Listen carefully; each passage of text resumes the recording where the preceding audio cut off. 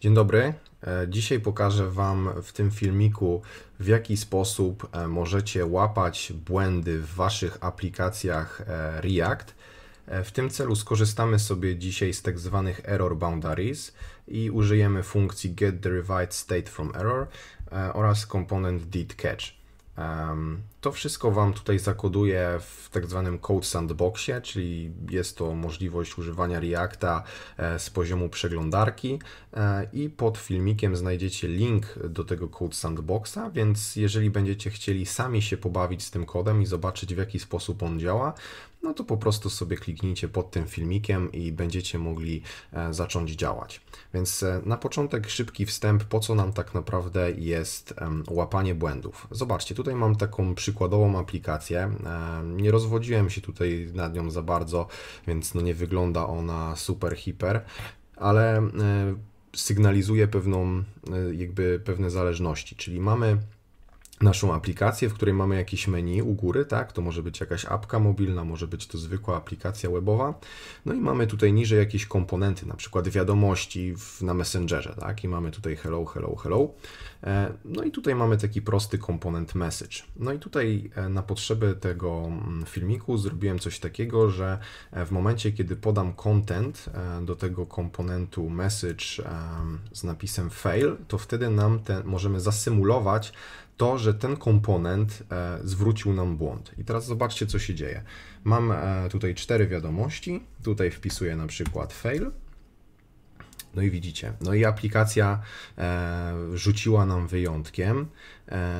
No i stała się nie, niefajna rzecz, ponieważ błąd mamy w, tak, w naszym komponencie trzecim od góry, message, gdzie podaliśmy fail.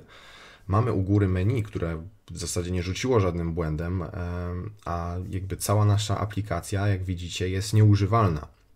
I teraz e, łapanie błędów e, pozwala eliminować takie problemy w taki sposób, że możemy złapać błąd w konkretnym komponencie lub grupie komponentów i w jakiś sposób zareagować, na przykład wyświetlając wiadomość użytkownikowi, e, logując gdzieś ten błąd na serwerze, nie wiem, odświeżając jakiś komponent, próbując zrobić jeszcze raz jakąś operację.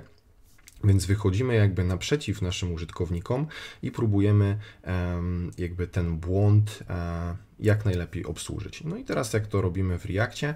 Robimy to w Reactie mm, z użyciem e, error boundaries. Em, e, Ja zalecam stosować e, takie podejście, że używamy mm, dwie, jedną funkcję, no to tą get derived state from error.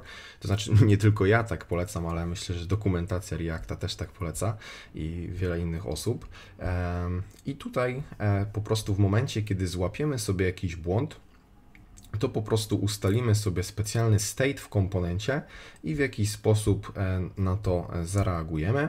E, Już Wam pokazuję, o co tutaj konkretnie mi chodzi. Więc napiszemy sobie szybko mm, jakąś nową klasę error boundary extends component i tutaj będziemy mieli komponent, który będzie nam łapał błędy i tutaj będziemy mieli state, czyli będziemy mieli state na przykład has error, który domyślnie e, mamy false. I teraz e, sobie zrobimy mm, tutaj taki funkcję e, render, przepraszam, to nie tak, o, zrobimy sobie funkcję render, która w sytuacji, gdy mamy mm, jakiś błąd, czyli this state has error jest true, to w tym momencie wyświetlimy e, jakiś błąd, na przykład z takiego prostego diva e, z napisem mm, something went wrong. A w sytuacji, gdy has error e, jest false, czyli nie mamy żadnego błędu, to po prostu wyświetlimy sobie to, co jest jako mm, children w tym komponencie. Zaraz zrozumiecie o co chodzi. Children, ok. Zaraz tutaj mm, mamy error boundary. A teraz dodajemy sobie funkcję e, static, czyli to dokładnie co jest tutaj. Skopiuję to, żeby oszczędzić Wasz cenny czas poświęcony na oglądanie mm, tego filmiku, żeby on za długo nie trwał. I tutaj zrobimy sobie także komponent e, did catch i tutaj sobie zrobimy nic innego jak console log error oraz info. Zobaczymy, co to nam się tutaj wyświetla. E, więc mamy mm, komponent, który nazywamy sobie error boundary i teraz spróbujemy go użyć wewnątrz naszej aplikacji w taki sposób, żeby ten błąd został złapany. I tutaj sobie weźmiemy te nasze message. Proszę bardzo. Tu sobie zrobimy wcięcie. I teraz zobaczcie. Zobaczcie, co się stało. W momencie, kiedy ta konkretna wiadomość rzuciła nam błąd, to e, ten komponent error boundary zareagował na to w ten sposób, że wyświetlił on e, wiadomość, że coś poszło nie tak. I teraz jak to działa? Mamy error boundary i to oczywiście co wszystko, co sobie wrzucimy między te dwa znaczniki error boundary idzie do naszego komponentu jako this props children. Więc w sytuacji, gdy nie ma żadnego błędu, no to e, po prostu te wszystkie te wszystkie komponenty nam e, się wyświetlają, tak? Natomiast w sytuacji, gdy coś pójdzie nie tak z danym komponentem, na przykład w tym message, tak?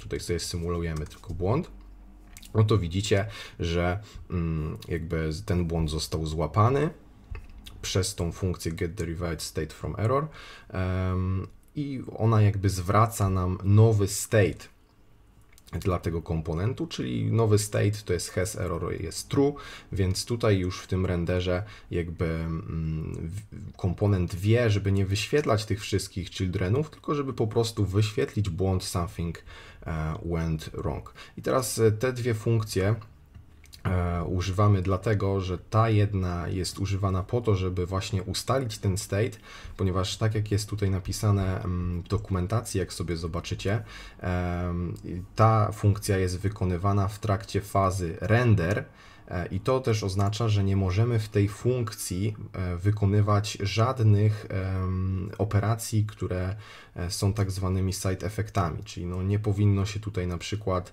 wykonywać jakichś zapytań do API, natomiast w tym komponent did catch gdzie mamy ładnie zwrócony error i, i jakieś tutaj informacje na temat tego błędu, e, możemy na przykład wykonać sobie już na spokojnie e, zapytanie do API, na przykład, e, żeby zalogować błąd. I teraz zobaczcie, tutaj jest console log i to jest tak, to jest ten get derived.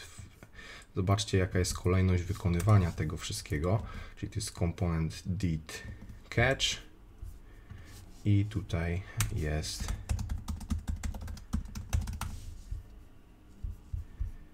Czyli widzicie, e, jakby próbuje, jakby jest renderowany nasz komponent, później jest ten get derived state from error, jest kolejny render już tutaj z tą flagą has error, e, która wynosi e, true, czyli już mamy tutaj pokazany błąd. E, natomiast e, w ostatnim już jakby tej fazie jest wykonany komponent did catch, czyli w tym momencie już możemy na przykład wykonać jakieś zapytanie do API, w którym informujemy, że użytkownikowi na przykład o ID 6 wyskoczył taki błąd. No i e, z tymi error boundaries jest tak, że możecie z tymi error boundaries zawsze sobie sterować. No na przykład tutaj jak mamy listę wiadomości, no to najważniejsze jest to, że jak coś pójdzie nie tak, no to żebyśmy mieli cały czas dostęp do menu. Ale na przykład w jakiejś innej aplikacji, na przykład jeżeli to by były wątki jakiejś wiadomości, mogłoby się okazać, że lepiej jest e, każdy komponent e, sobie jakby łapać osobno, tak? Zaraz ja tu chwileczkę mi to zajmie. I tutaj zrobimy tak. I tu jeszcze jeden.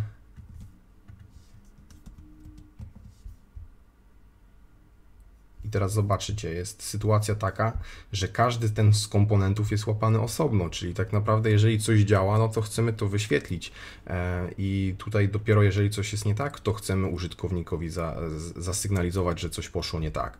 Więc e, jakby zależy to dużo, w dużej mierze od aplikacji i trzeba dlatego zawsze sobie popatrzeć, co w danym momencie Wam pasuje i jak ustalić ten error boundaries. Teraz jeszcze mm, taka uwaga, mm, w sytuacji, gdy macie jakieś eventy w swoich komponentach, czyli na przykład, nie wiem, gdybyśmy ten komponent mogli na niego kliknąć, tak, gdybyśmy mieli jakąś funkcję handle click w tym e, komponencie message, na przykład coś, nie wiem, na przykład jakąś funkcję typu e, report, tak, żeby można było zaraportować tą wiadomość i na przykład w sytuacji, gdy e, tutaj byście mieli e, jakieś zapytanie do API, tak, na przykład, nie wiem, API do report, tak, i to jest jakiś tam promis, no to tutaj już jakby e, takich błędów, które są związane z danymi wydarzeniami, z danymi eventami, które już zachodzą po interakcji z użytkownikiem, e, to wtedy już nie korzystamy z komponent e, did catch czy get derived state from error. Tutaj już możecie się posługiwać e, normalnie składnią mm, try catch e, z JavaScriptu. Tu sobie o tym poczytajcie, jak to działa. To jest jakby też napisane w dokumentacji Reacta, e, że mm, te komponent did catch i get derived from e, error jest bardziej stosowane do takich jakby błędów, które mogą zajść w cyklu życia komponentu, czyli że na przykład on się źle zamontował albo coś, coś się wydarzyło właśnie na przykład w konstruktorze nie tak, więc e, wtedy się powinno korzystać z tych komponent DitCatch. Natomiast jeżeli macie jakąś funkcję, e, z której korzystacie, na przykład w momencie, kiedy ktoś kliknie na wiadomość, no to wtedy już błędy łapiecie sobie e, w inny mm, sposób. E, to wszystko, co chciałem Wam e, przekazać w tym e, materiale na dzisiaj. Zajrzyjcie do opisu, tam znajdziecie mm, linka do tego Code Sandboxa i będziecie mogli sobie po prostu potrenować łapanie błędów. Dziękuję bardzo za uwagę. Jeżeli filmik Ci się podobał, to dawaj łapę w górę i zapraszam do śledzenia tego kanału. Trzymajcie się, cześć.